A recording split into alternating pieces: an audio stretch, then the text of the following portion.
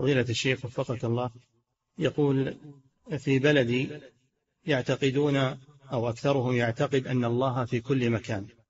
الله العافية. وأئمة المساجد هناك على هذا الحال. يقول هل أصلي منفردا أم أصلي معهم أم أصلي الجمعة فقط معهم؟ إذا علمت أن الإمام يعتقد هذه العقيدة فلا تصلي خلفه. أما إذا لم تعلم فالأصل في المسلم الخير والعدالة. إذا لم تعلم. Yes